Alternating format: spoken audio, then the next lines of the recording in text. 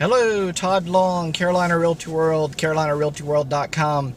So, this is a public service announcement video today.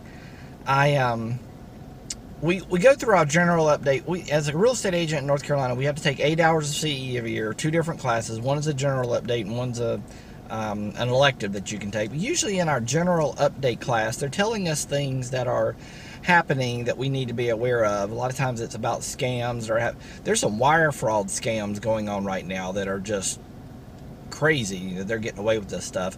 But the one that really stuck out in my mind at that time, and I said, I'm going to do a video about this.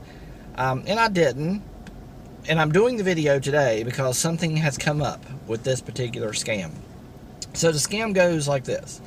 House is listed on the MLS for sale the scammers take all the pictures off the MLS, they take the description off the MLS, they take the agent's name even off the MLS, and they post it on a different website like a Craigslist and say, We had our house for sale and now we decided we're going to rent it out. Um, they start communication with the potential um, victim and then they convince them to send them money in the mail and then they will meet them at the house to give them the keys, let them do the walkthrough, but they got to pay their security deposit or something up front. Well, today I get a call from a lady that is out in front of one of my listings. Happens to be a house that I also own, but my sign's out front. She calls me. She's like, "Hey, I'm calling about this house you have for rent."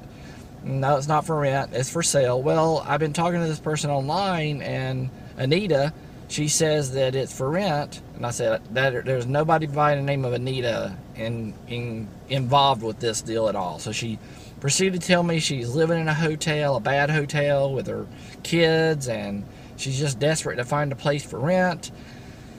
It's a really sad story, and, and the lady's going to rent it for to her for $400 a month. It was a great deal.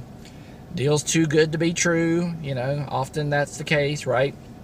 But because this thing's rented for $800 a month, for years. So I explained to her that this is a scam. Don't send this lady anything. And I had her forward me the text message and such that she's been getting with this person. And, you know, person sounds legit. Um, but I gave her the phone number that they gave us in our general update. If you are getting, if you know somebody that's getting scammed like this, please give them the number for the North Carolina Attorney General and turn it into the scam department. And that phone number is 877 566 7226 or 919 716 6000. And we have got to get some people involved to stop these scammers from doing this to people. I mean, they're taking these people's money. The, the, the, the text message stream from this particular person said, um, we live out of state now, so send me the first month's rent of $400. I'm not going to collect a security deposit from you. Once I get your $400, I'll mail you the keys. I mean, come on.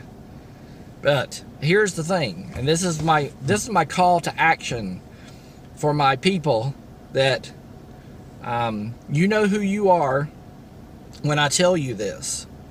I'm to give you the phone number that this person persons is texting from, and I want reverse action to happen to this phone number 412 346 8396. That is the telephone number for the scammer that is trying to take money from people that don't deserve to have their money taken from them. So, people, 412 346 8396. Do with that number what you wish. The worse, the better. have a great week.